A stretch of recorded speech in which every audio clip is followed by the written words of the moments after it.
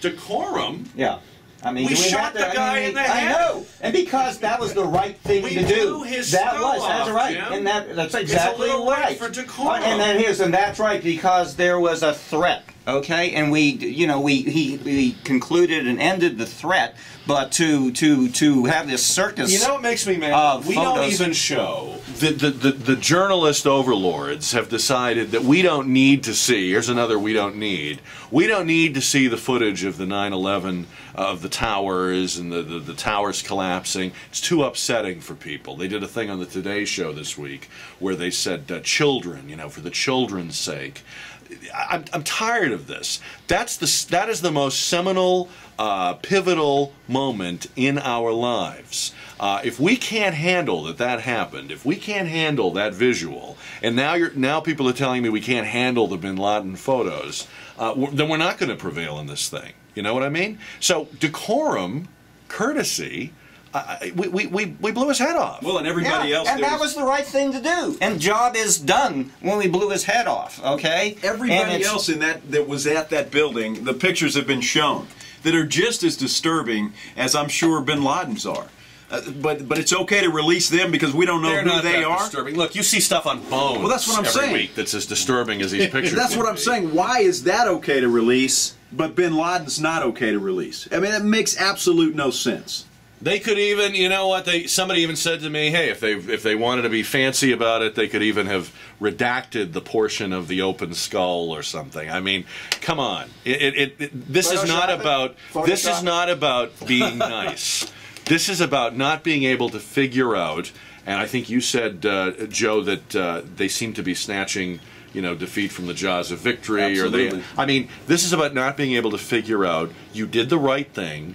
You are you have nothing to apologize for. You have not inflamed anything, and now you are going to trust the people of this country. By the way, the same people who supplied those seals. This is an all-volunteer military. We trust you. Here's the here's all the information. We're going to dump it all out there. You don't have to see it. You don't have to look at it. You can change the channel. You don't have to click on it. But there it is. That's what we do in this Jack, country. do you think he's dead? Yeah, I absolutely believe Why? he's dead. Why do I believe he's dead? The main reason I believe he's dead is because I don't believe you could co-opt those uh, SEALs and those military men and women to tell a lie on behalf of a politician trying to get reelected. Now, I think you know you're you're a tough sell for this Well, administration. right now, you're so if you're, really you think he's dead, then why do we have to release the photos? I mean, uh, you. I didn't say we had to release him to prove to me that he's dead. You're, you're putting that you're putting those words in my mouth. I'm not expressing doubt that he's dead. I'm telling you I don't like the precedent of of somebody deciding what the American people need to know and don't need to know. And you as a liberal should be absolutely with me on that. I'm with you. That I'm the- with you. I'm with you. the- I'm with you, brother. I'm with you, brother. Of the left for 50 years, Jim. I'm is with that you. you can't trust authority. Well- You can't trust the man. I am with you now. I've come over to you. I'm saying to the man, stop treating us like babies. I'm with you on that. Okay. And I say it all across the board. Both parties, domestic issues, foreign policy. Now, now I'll make an exception. If you are about to uh, put the life of a specific person in danger, i.e., you're going to reveal the name of a of an FBI agent who's infiltrated the mafia, or an intelligence agent who is uh, a sleeper inside of an Al Qaeda cell. No, you don't release his name. Obviously, that that would be stupid you know in that case this specific person will come to harm if I do that.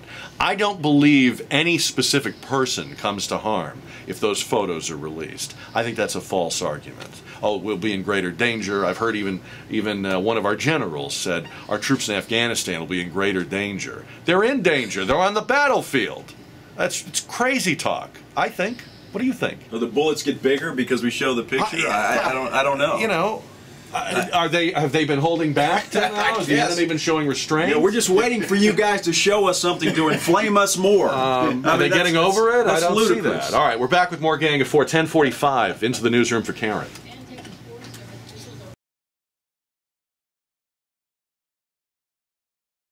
Gang, Karen Klaus over there in the news center. News Center 55. Can we say that? Uh, is that all right to say, Joe? Absolutely. of All course. right. Then, or just the room she's in. we just were trying to. British researchers, uh, Karen, are uh, looking at the trigger factors for stroke. Uh, they're trying to figure out uh, what are the you know the risk factors and the triggers. A, a stroke often occurs when a weakened blood vessel bursts. They found two leading triggers um, in their research so far: coffee and sex. So I see that as kind of a good news, bad news thing myself. Hey, what's the order of those two? Um, I'm only half as worried as I could otherwise be. Uh, it is 11:10 on News Talk 550 KTSA. The gang is here today. Joe Reinagel, sports director at Channel 5, uh, all things sports. Uh, he, he privately admitted to us that he's not as big on horse racing as some others. Yeah. But uh, is there any sport you just absolutely hate that you just you have to grit your teeth? Yeah, I'm not a big guy. You I admit say it. I'm not a big soccer fan. Uh-oh. I guess soccer I wouldn't have is admitted that one if I were you. Well, I know I, I probably shouldn't have, but I mean, it's you know, growing up as I did, you know, back in the in the 70s and 80s, it- soccer was just not heard of. Is it is So- it not a real sport? I wouldn't say that. 'cause those, guys, it's Look at just me. it's not a I am just egging him on. It's not a good spectator I- I sport, in my opinion. Well, I agree with you, but obviously we are being I know. outvoted on that one. um, he's here today, and we're glad to have him back. Uh, Dr. Masarrat Ali, uh, candidate uh, last year for the Texas House and a businessman, uh, and also uh, uh, Jim Eskin, who publishes the Stratagems newsletter. Hey, by the way, can we add Does a lot of other things a third uh, a third stroke stress factor Oh, yeah? would be looking at gorish photos of dead terrorist Oh, yeah. leaders. Oh yeah. So um, let's let's uh, look at the uh, landscape here going forward. Now, let's we've talked a lot about what happened this week. Let's talk about the future. I want to talk about two things. First, uh, we're in Afghanistan. Um, which may have been in some ways key to getting bin Laden. After all, we had to flush him and that organization out of Afghanistan. But um, a lot of people are saying now, uh, with him dead, we should speed up the withdrawal, uh, pull out faster. What do you think about that? Dr. Ali? I'm not sure if pulling out faster is the way to go, but we certainly have to limit our engagement in, in Iraq and Afghanistan, and we have shown that we can be a lot more effective with a smaller force. And I don't think that you have to have, you know, hundreds of thousands of Americans occupying a different uh, country, and that is inflaming the um radicals a lot more than us uh, killing a few people. And we got to limit our engagement uh, both in Iraq and, and Afghanistan and other places and just do what needs to be done with a targeted, you know, uh, missions. This is what you need to achieve, and they can be a lot more effective that way. Um, and of course, the, the, the, our debt going through the roof and cut down on some of those expenses, and this is the time to do it. So, are you saying that we just demonstrated uh, the more effective way to fight terrorism as opposed to big, you know, large scale military operations? That is correct. I mean, the same thing is happening in, in Libya that we can be very effective with a with a targeted approach as opposed to sending another 100, 200,000 people there and inflaming uh, everybody with the occupation of the country. So, uh, anybody else think that Afghanistan will be over sooner or should be over sooner as a result of this? I- I'd like to see it be over because I don't think Right. I don't think that it, being in Afghanistan. I mean, look, the Russians were there for how long? Mm. Forever, and, and nothing changed. And I, I, I'm not sure what we're what we're trying to do there. If it was to flush Bin Laden out, we've done that, and he's dead now, and we all agree on that. But I, I think as soon as the United States leaves Afghanistan, it, it's going to be right back. But I just think it's a waste of time. I think we're spinning our wheels there. Certainly spinning our wheels in, in Libya and every and everywhere else. I just don't see. Uh, the good. I'd like to see the United States. You know, this is a scary moment in which we all agree. I think we all say we want some clarity in our exit strategy, and we agree. Wow, he's speechless. Let's look ahead now to the election. next Yes, year. that's fun. How big a factor, if any, uh, will uh, the takedown of bin Laden be for the president's reelection chances, Jim? I mean, there were people saying Monday morning, oh, that's it, he's locked it up. Yeah, yeah. Well, I'm just amazed of how little activity there is on the Republican side. You know, they had a debate last night, and all the frontier candidates refused to participate. And when it's not that far away, heck, we've had other campaign cycles, and it was serious, uh, seriously underway two or three years in advance. Um, I, you know, there's image and there's perception and reality.